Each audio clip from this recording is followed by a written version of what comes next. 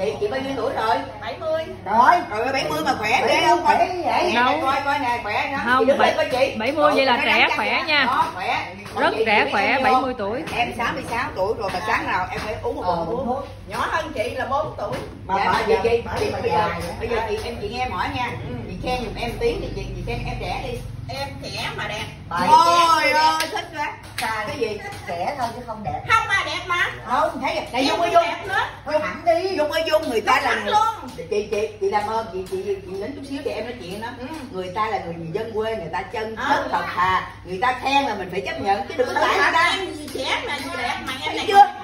Thôi tự nhiên vô xin chờ chị chị khen em giùm một tiếng đi. Không lẽ tao không khen giùm một tiếng? Đúng rồi. Đúng không? Đúng. Đúng không?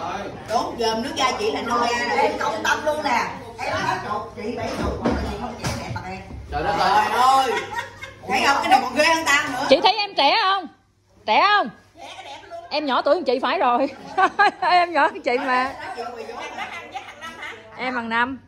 Này hàng sáu, còn này hàng sáu, sáu giữa. con trai của chị con trai thứ hai là bốn mươi mấy rồi. Rồi đó. À, Ôi, lớn vậy. con gái á thì cũng bốn mấy rồi. Dạ, con mấy bốn mươi chồng bốn mươi Có rồi vợ chưa? có vợ có con hết. như mười hốt. ôi ôi ôi trời ơi. Thôi em sống an phận gì giờ em tu